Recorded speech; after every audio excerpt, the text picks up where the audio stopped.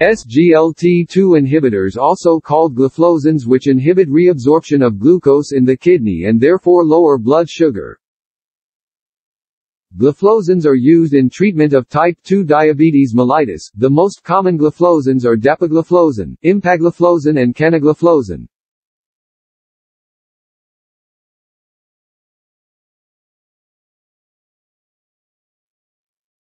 The differences in the structures is relatively small.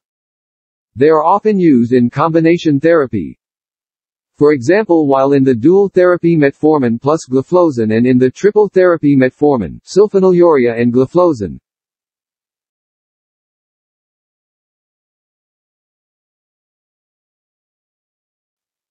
Gliflozins are second or third line agents instead of first line because there are other medications already available, that have better safety record and are less expensive than gliflozins. Gliflozins are option for the patients who do not respond to metformin monotherapy, especially if weight reduction of patient is also required.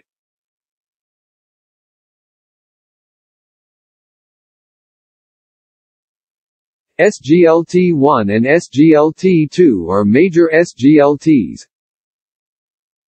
SGLT2 present in the kidneys on the epithelial cells lining on the first segment of the proximal convoluted tubule, SGLT2 is an important transport protein which promote reabsorption of glucose back into blood circulation and is responsible for approximately 90% of the renal glucose reabsorption.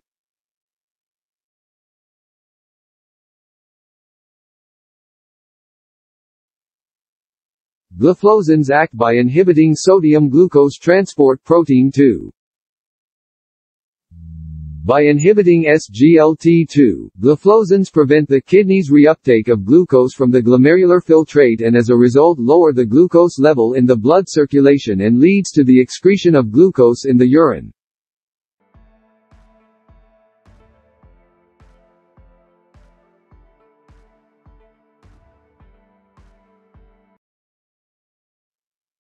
Gliflozins not only control blood sugar but they also provide significant cardiovascular benefit in type 2 diabetic patients. According to studies, canagliflozin, a member of this class, found to enhance blood sugar control as well as reduce body weight and systolic and diastolic blood pressure,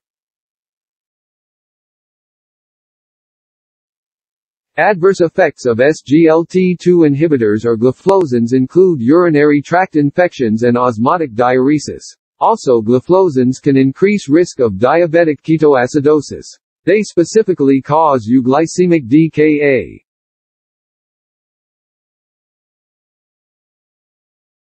Interactions are important for SGLT2 inhibitors because most type 2 diabetes mellitus patients are taking many other medications.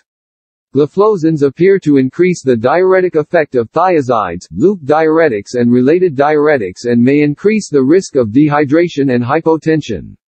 It is important to adjust the dose of sulfonylureas, if gliflozins is added to diabetic patient, to avoid hypoglycemia. Thank you. Like and subscribe our channel for next coming videos.